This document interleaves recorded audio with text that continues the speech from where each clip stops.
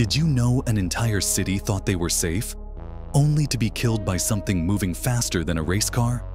August 25th, 79 AD. Mount Vesuvius had just erupted, but the people of Herculaneum felt lucky. The wind was blowing ash away from their seaside town, straight toward Pompeii instead. Life continued normally. Romans strolled the beaches, merchants sold their goods.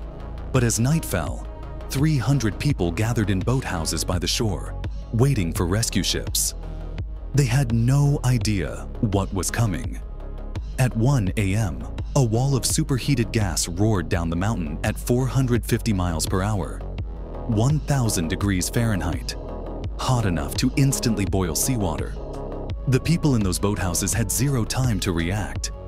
The heat hit so fast it turned their brains into black glass. When archaeologists found them 2,000 years later, their DNA was perfectly preserved. They could even tell what these people ate for their final meal, frozen forever in their last moment alive.